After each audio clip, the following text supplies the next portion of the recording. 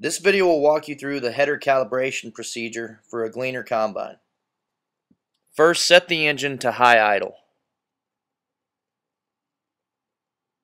Next, press and hold Cal 1 until the LEDs illuminate.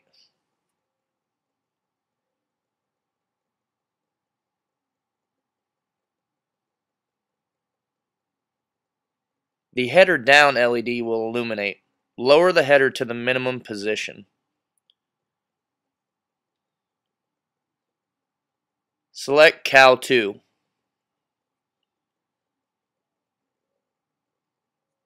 Next, the header up LED will illuminate. Raise the header to the max up position.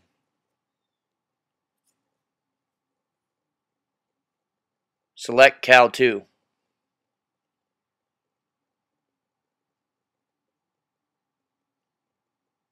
The tilt left LED will illuminate. Tilt the header to the max left position.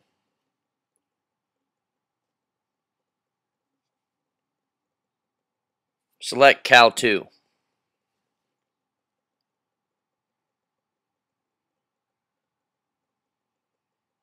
The tilt right LED will illuminate. Tilt the header to the max right position.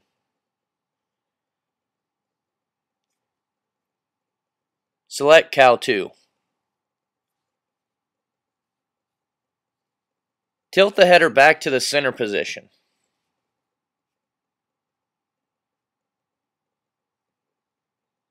Select Cal 1.